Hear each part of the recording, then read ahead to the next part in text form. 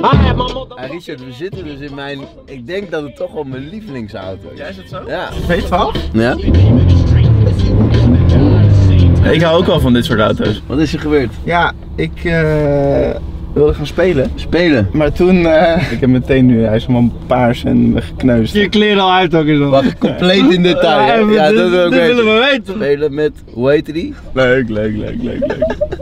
Dat Nee. blijft leuk, hè, die? Ja, dat ja, kan wel. Ja, dat kan wel. Jij ging spelen in Nederland of buitenland? Nee, in Nederland. Dus jongens, jullie weten dat Richard Verschoor die speelt ook gewoon in Nederland. Wel met dezelfde. Met dezelfde. moet ik er even bij zeggen. Dus je hebt hier gewoon een vriendin. Nee, ik heb geen vriendin. Maar soms gewoon een beetje spelen. Je kent het wel. Ja, nee, supergoed. Je komt aan, veel te gehaast. Ja. En ik moest nog even snel naar de wc. Wat ik nu voor me zie, Jij ziet, ik kom aan. je struikelt over je onderbroek of zo terwijl je die uitdoet terwijl je loopt. Nee, het was echt gewoon heel dom. Ik wilde eh, gaan spelen, dus ik had haast. Ik wilde dus graag spelen. Ja. Maar toen dacht ik, ik ga eerst nog even naar de wc. Dus toen liep ik snel daarheen. Alleen toen zag ik even niet dat dat, dat kastje of dat dingetje daar stond. Toen was het echt bam. En toen? Ja, toen lachen natuurlijk eerst van, eh, hij doet helemaal geen pijn, weet je wel. Even vijf minuten, even, nog even staan naar de wc. En die wc echt zo, tering veel pijn. Jij bukt in die wc en toen kwam die erachterin. Dat Ah, dat kastje daar expres neergezet. Dat denken ze wel, want als je ziet hoe ik soms nu loop.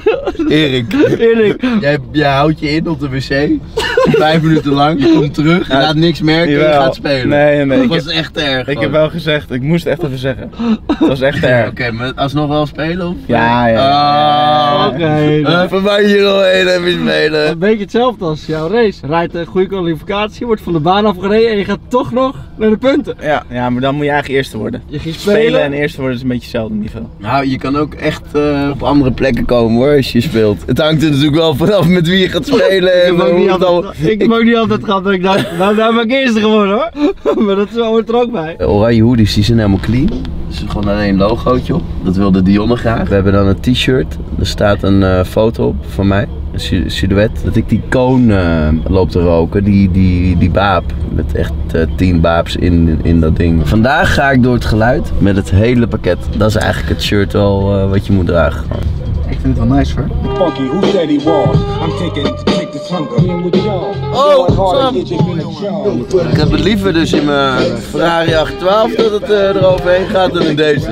Dit is gewoon geschiedenis. Dus als je dat nu gaat slopen, is het nog zo mooi allemaal. Het ding is net zo oud als Donnie. Doe niet van de 97. Ja, wel een grote pot hè. Van een berg. Nee, dat gaat goed. Doe je nog?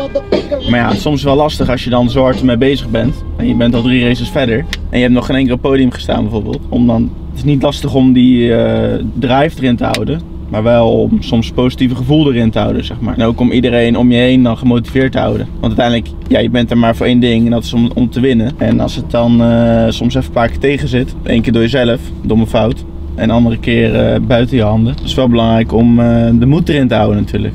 Ja, het kan niet alleen maar goed gaan. Nou, één voordeel. Ja, je bent nog jong. Ik wil het wel nu gaan doen. Ja, nee, zeker. Maar ik heb, dit weekend heb ik eh documentaire gekeken van Ken Blok. De Jim Kana files. Die is laatst overleden Ja. met een ongeluk. Echt fucked up. Maar goed, die, die guy, dat was echt een legend. Hij begon pas de rally race op zijn 37ste geloof ik. Nadat hij zijn bedrijf had verkocht. Bleek daar super getalenteerd in te zijn. Heeft dat talent eh, naar YouTube getrokken. Is daardoor eh, geëxplodeerd. Hè? Hij ging de ziekste YouTube eh, maken met dat driften de hele tijd. Daar waren ze tien maanden mee bezig. Oh, zie je dat ook allemaal in terug. dat het allemaal niet even lekker gaat. En dan moet hij ook stoppen met dat racen en al die shit, weet je wel. Maar je ziet hoeveel moeite daarin gaat. En ook dat racen bijvoorbeeld. Zelfs al in dat rallyrijden. Het is allemaal... Ik vind dat racen nog wel echt... Dat, dat, daar komt zoveel bij kijken. En zeker op dat niveau van jou. Ja, het is meer... Financieel, Ja. eh, mensen om je heen eh, die van alles wat te zeggen hebben. ja, op hoog niveau is het altijd. Het is... eh, Maar het is natuurlijk ook, ik heb dan eh 16 eh, partners. En daar heb ik naast mijn team eh, ook nog mee te maken natuurlijk. En dat vind ik leuk om te doen. Maar soms is het wel dat je denkt van... partners, Partners, sponsoren. zoals ik. Zoals jij. Aan de andere kant motiveert het me ook weer. Omdat ik een soort van het gevoel heb van eh, dat ik een verantwoordelijkheid heb naar, naar al mijn sponsoren. Ja. Om te presteren. Dus het helpt me zeker. Maar als zodra het even niet goed gaat, ja, dan heb ik altijd wel zoiets van: eh, shit, nu moet ik extra iets terug doen. Of nu, weet je wel. Ja, maar dat gevoel is goed. Ja. Alleen wil ik wel erbij zeggen van, kijk, degene die jou sponsoren, dat zijn allemaal mensen die hebben hetzelfde meegemaakt in hun business. En weet je wel, die snappen ook wel eh, dat, dat je iets verder moet kijken dan, dan hè, drie races. En ik snap ook wel dat de kans 1 op 20 is dat jij op het podium staat. 1 op 22. 22. 22. Ja. Nee, tuurlijk. Maar ja, Mij hoor je niet, toch? Maar dat is dus de reden dat jij nu hier bent. Het gaat toch juist hartstikke goed bij je? Rijdt van eh, 20... eh, Ja, nee, het gaat ook 5. goed. Alleen de races gaan supergoed. Ik ben super snel. Alleen ik wil gewoon op het podium staan. Vaker. Ja, Dus- dat is wel een goed voornemen. Ja, en Volgende dat kan ook. ga je-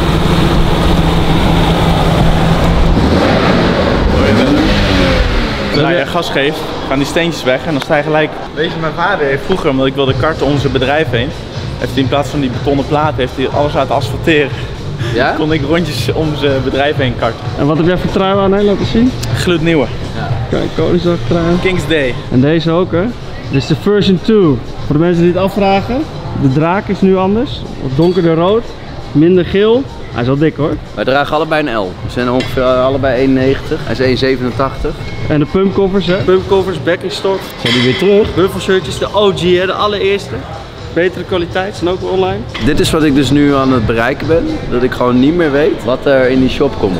Dat, eh, dat de jongens allemaal lekker aan het werk zijn. Dat ik gewoon uh, mannetjes smeden met eh, Richard Schoor. Hele leuke plantjes. Want ik zit helemaal in de Ken Block eh, vibe. Hij is natuurlijk laatst overleden. Maar wat hij deed, dat, is, vond, dat spreekt mij heel erg aan. En wij hebben natuurlijk wel best wel veel attributen. We hebben, de- we hebben die ANGP, straks die R8 eh, Twin Turbo. Nee, nog locaties. We, hebben alleen locaties nodig, ook voor die ANGP. In theorie zouden we niet gewoon bij iemand op het terrein met die ANGP kunnen, die daar een asfalt, een groot stuk asfalt heeft, bedrijventerrein. Ja, dat, ik denk dat dat zou kunnen. Dan heb je wel een beetje eh, te maken met geluid, denk ik. Ja, maar ja, wat, Het ding maakt wel herrie. ja met zijn eigen terrein. Is eigen terrein. Totdat ze gaan klagen, zou dat misschien kunnen. Ja, we kunnen een paar rondjes doen, dan moeten we naar de volgende. Maar hoe vet is het als we daar gewoon eh, op zo'n terrein eh, donuts draaien of zo? Laat even weten, business Dan komen wij gewoon met die ANGP.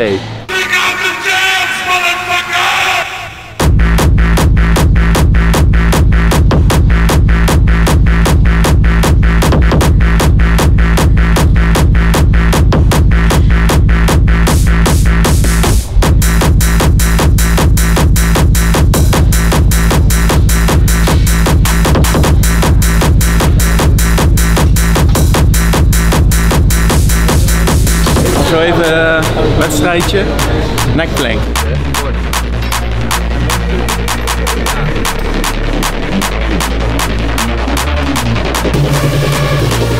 Dat ding op tijd uitdoen, want anders krijg je het niet meer uit als je die leds trekt, weet je wel. Oh, dat is goed.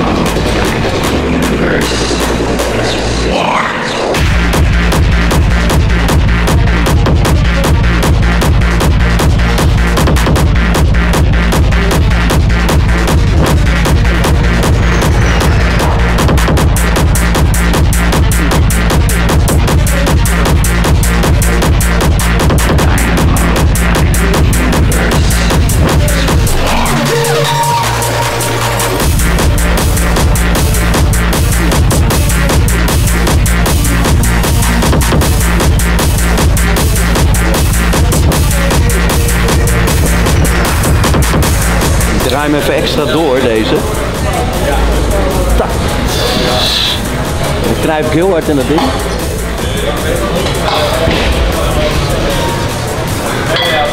En dan beeld ik dus in dat hij ook echt gaat groeien.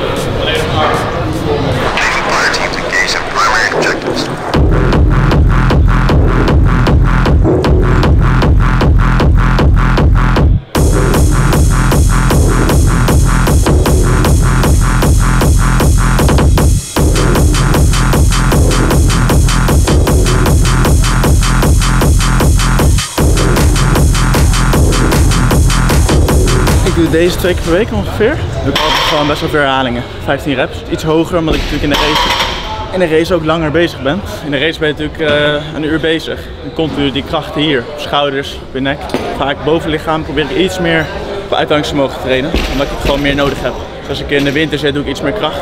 En nu gewoon meer, eh, meer herhalingen. Op een gegeven moment, een beetje het einde van de race, gaat dit erg verzuren. En dan merk je dat je nek het ook zwaarder krijgt. Dus die gaat dan een beetje overnemen. Dus het is gewoon belangrijk om ja, dit sterk te hebben. En dat het lang, dat je het lang volhoudt.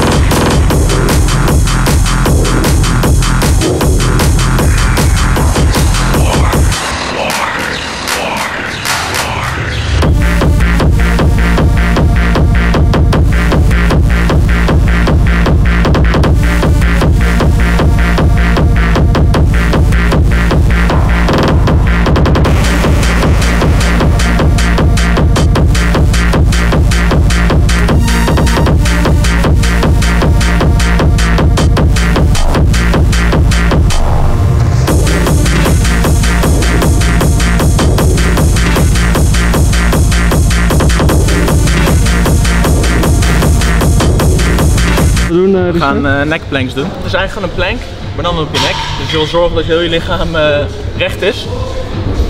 Hoofd op bankje. Reet naar voren duwen en loslaten.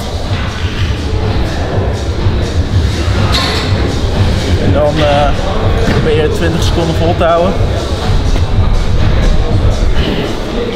Nou, rustig weer laten zakken.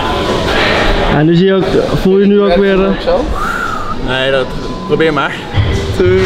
20. Oh, lekker. Ja, je wil er mee worden toch? Dat gaat niet lukken hoor. Zo gaat het wel lukken. en nu je arm nog weg, ja. Nee, dat gaat echt niet lukken. Jawel, dat kan wel. Nee. Lukt het echt niet? Ah, 20. Juist.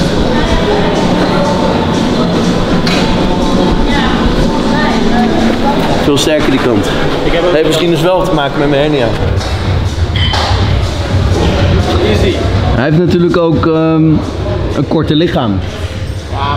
Dus dan is, het, is die hefboom is natuurlijk veel minder. Lekker Lord. Net. Helemaal krap in de hamstring. Oh, dan ben ik niet de enige, gelukkig. Oké, we hebben de electrolyte. Richard die vroeg net al van, eh, zit er nou cafeïne in? Er zit dus geen cafeïne in.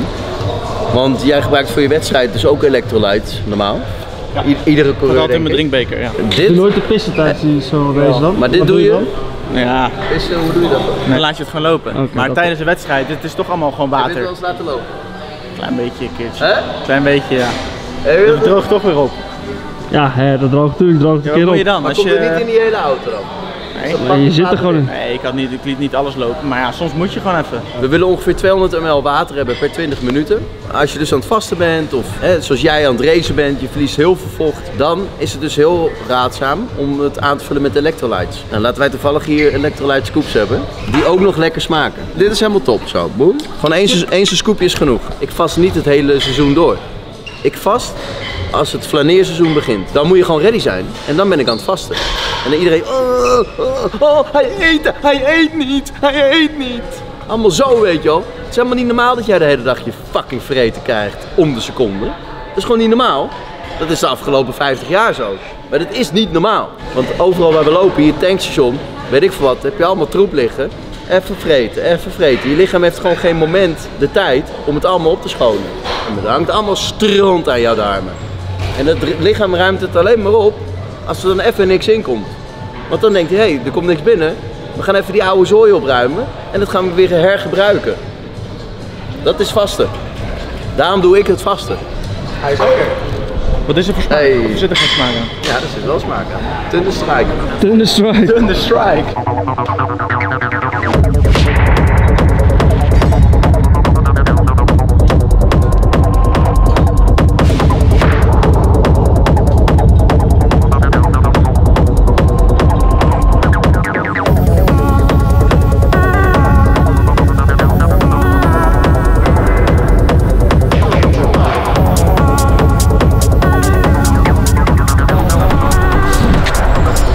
Lekker zonnetje, hè? Lekker hè? Word je eh, raar aangekeken als je met een V12 uh, doet. Ik zag er laatst eentje, die had ook 750 IL. Maar dan een nieuwe type. Nee, even zo. Zo van abonneren. Abonneren voor die grotere chest. Nieuwe hoodies. Alles staat in die shop. Blijkbaar staat er nog veel meer in de shop. Kijk gewoon even onder het kopje nieuw. En ja jongens, we gaan die hele website ook helemaal aanpakken. Het wordt allemaal in gang gezet. Dit jaar gaan we echt voor goud gewoon. Hij ook. Hey, Hey!